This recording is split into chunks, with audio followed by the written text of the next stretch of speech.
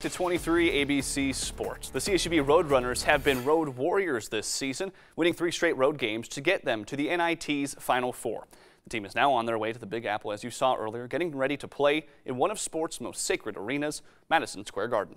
Oh man, just a dream come true, you know. Uh, just living out a dream, just grateful and thankful to God. He put me in a situation. Um, just grateful to do this for the city of Bakersfield and the program here. Um, I'm just gonna be shocked, you know, see see what Kobe played at. You know, my last memory was uh, Kemba Walker shooting a step back jump shot on Pittsburgh, and um, it's gonna be a great feeling. I can't wait.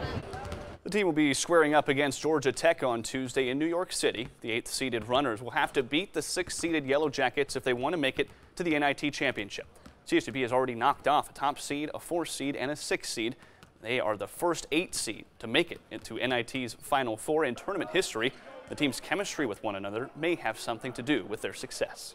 You know, we know what we're capable of doing. Uh, we know it's March, and uh, everybody know their role. That's what we're doing. We're playing our role. We're just coming in and just supporting each other. Like I said, it's a brotherhood, and we love one another.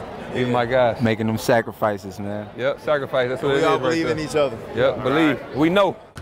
Now, it's said that defenses win championships oftentimes in sports, and Tuesday's showdown could be a battle of two of the better ones. Both teams ranked in the top 50 in the nation in points allowed per game this season. Coach Rod Barnes says that it's the effort of his team's defense that he takes the most pride in.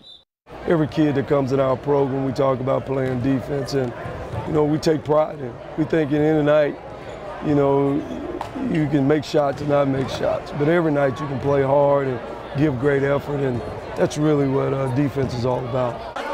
Now, today's practice was open to the public, and fans got the chance to watch the team prepare for their big game, even to take pictures with the players, and some of the younger fans may have even been swayed to become Roadrunners someday. They want to come to Cal State because the accessibility, the court, they're on the court, you know, they're actually shooting around right now. The team's behind them. We took pictures with them. Oh yeah, it's, it's great. The team took off from Meadows Field just over an hour ago, heading to New York to continue their postseason run.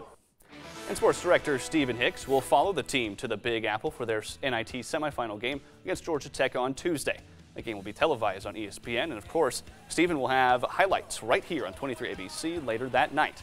Don't forget, you can check out CSUB's entire tournament run online at turnto23.com.